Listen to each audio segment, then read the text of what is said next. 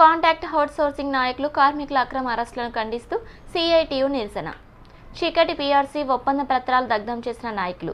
పదకొండో పీఆర్సీలో ప్రభుత్వానికి ఉద్యోగ సంఘాలకు మధ్య జరిగిన ఒప్పందంలో contact outsourcing part time కార్మికులకు ఉద్యోగస్తులకు ప్రభుత్వం తీవ్ర ద్రోహం చేసింది.